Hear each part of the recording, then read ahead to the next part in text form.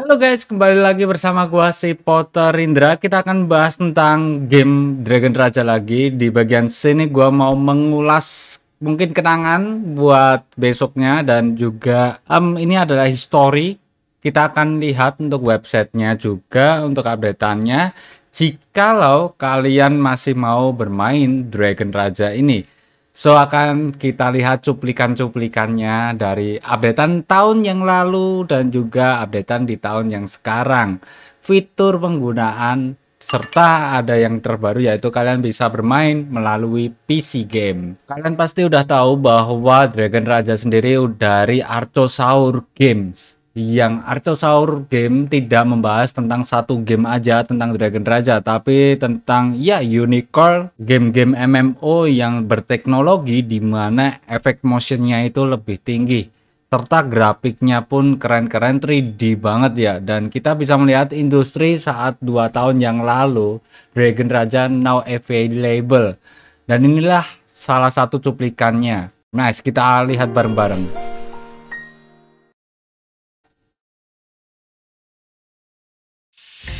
Unreal Engine ya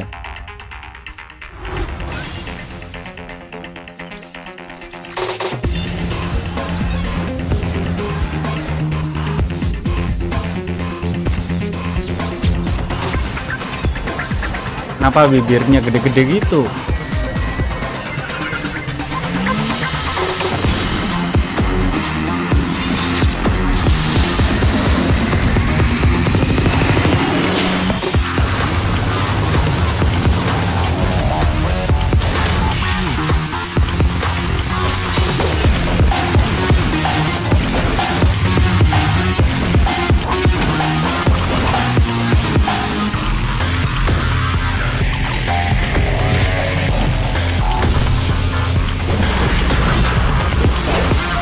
PvP-nya gue nggak tertarik sama sekali nih guys. Yes, Dragon Raja.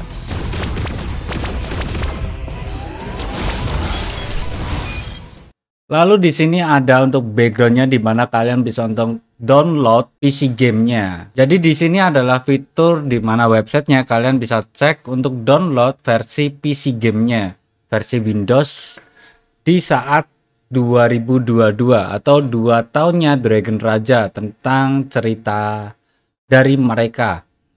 Lalu ada juga dari backstory, hero kelasnya, karakter-karakternya. Karakter utama yaitu Eri Yusugi ya. Namun katanya udah tewas. Coba dari storynya terakhir kayak reinkarnasi ya si Eri ketemu sama Luminous tapi kayaknya juga dalam mimpi sih. Ini suaranya nih guys. I really like this world. I really like this world. But this world doesn't like me. Cool man. Cool man.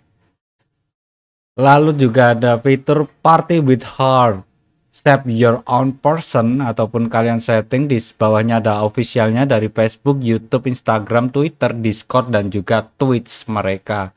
Kalian bisa untuk custom figura ataupun karakter kalian secara pribadi sesuai dengan selera kalian dan ini adalah video versi kedua tahun dari Dragon Raja sendiri.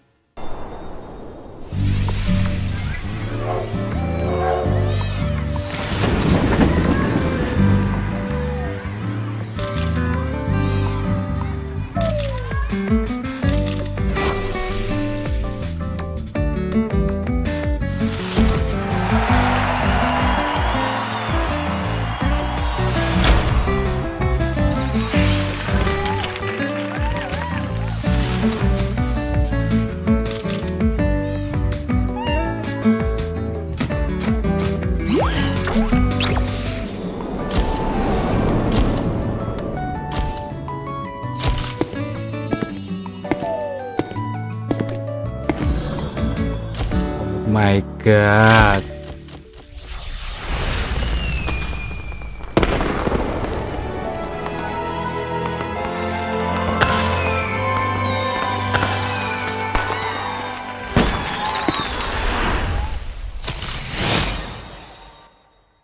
Ya ini masih kontroversi sih cerita dari Dragon Raja sendiri ya.